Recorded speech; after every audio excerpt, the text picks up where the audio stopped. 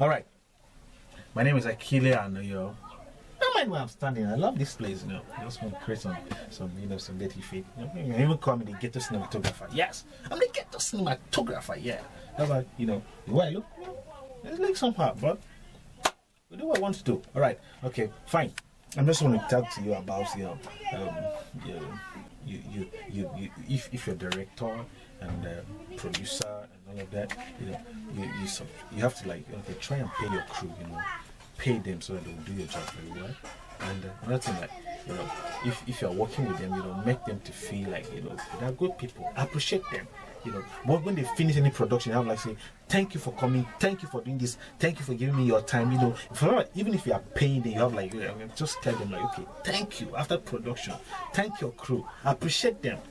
It's part of managing the crew. But when you don't, when you don't appreciate your crew, once they finish, just say, okay, bye bye, bye bye, bye because you pay them money. No, that's not the proper way to do it. You know, once they finish your production, just thank your crew, shake them, you know, appreciate them, just tell them what, what, how they mean good to you and all of that. You know, they'll be happy. Anytime you call them, they will have to run away and they have the run, they have to, they will have to run to you so they will come and produce with you because you're a good person.